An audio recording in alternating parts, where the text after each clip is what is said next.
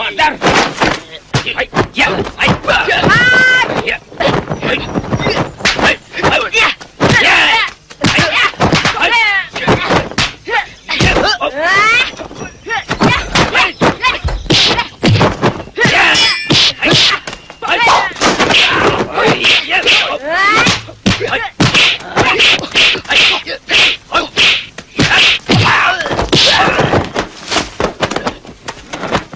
Hey!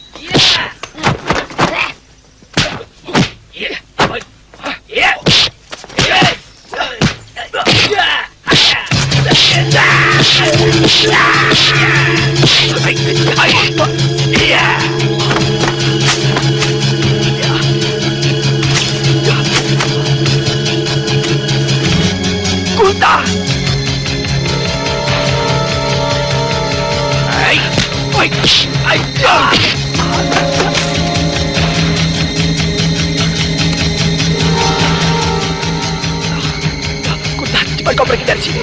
Saya tidak bisa meninggalkan kakang. Cepat!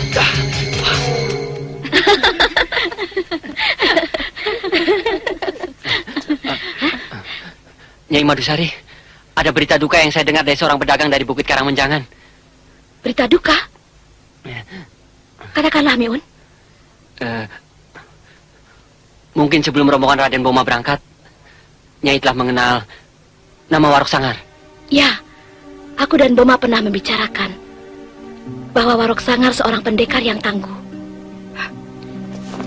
Maafkan saya, Madusari.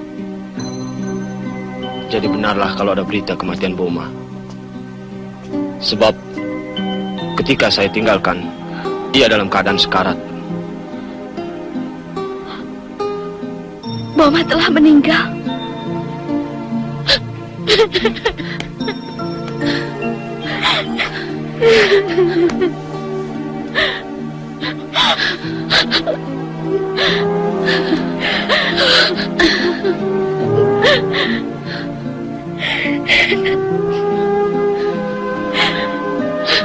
Lalu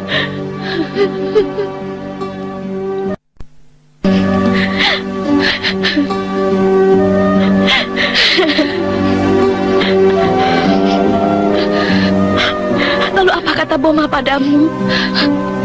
Ketika pertarungan berlalu, Boma menyuruh aku pulang untuk memberi kabar padamu. Ia tidak mau meninggalkan pertarungan. Madusari, tidak baik terus-terusan menangis. Jagalah kesehatanmu. Berusahalah melerai hatimu yang penuh duka dengan kedamaian dan ketenangan. Sudah berhari-hari aku menangis. Tapi di sela-sela tangisku,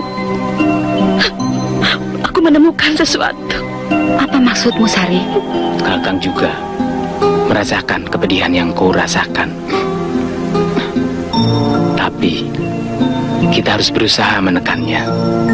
Saya merasa kehilangan, Kang. Anak itu